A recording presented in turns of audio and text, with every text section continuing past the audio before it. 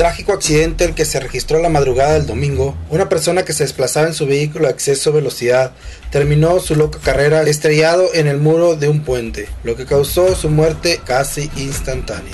El percance se registró alrededor de las 3 de la mañana del día 24 de enero del 2016 sobre la carretera libre de Reynosa a la altura de la colonia Loma de los Pilares. El conductor se dirigía en sentido poniente-oriente, en dirección al municipio de Cadereyta, pero presuntamente, según versiones de las autoridades, este dormitió, perdió control y se salió del camino. Algunas personas que presenciaron el accidente se detuvieron a prestar ayudas solicitando la presencia de los paramédicos y los bomberos de la ciudad, ya que el auto tipo Gol con placas de circulación SMV 9218 comenzaba a incendiarse y con la persona adentro de la unidad.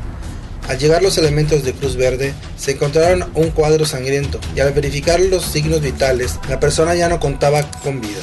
El conductor que presuntamente consumía alcohol al momento de conducir o bien que venía de un convivio fue identificado como Edgar Alejandro Galindo Pérez de 28 años, quien tenía su domicilio en la calle Gonzalitos en el centro de la ciudad de Cadereyta.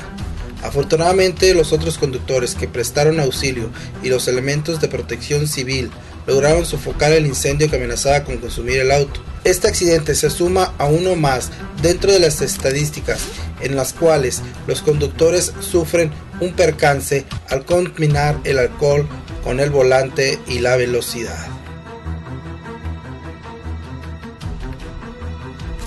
Y recuerde, manténgase informado en Videonoticias en línea.